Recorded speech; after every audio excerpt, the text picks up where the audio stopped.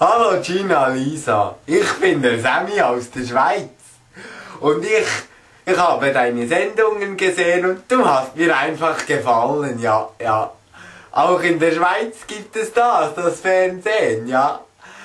Und wenn du Lust hast, mit einem etwas bodenständigeren Mann, der noch weiß, wie man die Mischgabel in die Finger nimmt, eine Beziehung einzugehen, dann musst du einfach mich fragen.